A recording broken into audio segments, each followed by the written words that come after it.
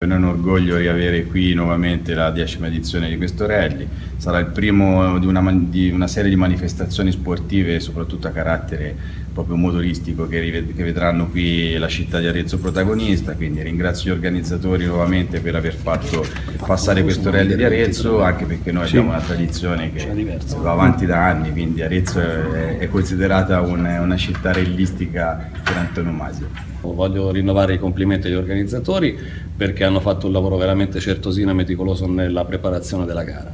Questo tipo di sport, tra l'altro, eh, configura anche un'educazione stradale se vogliamo, andiamo a cadere anche lì, perché tra l'altro in,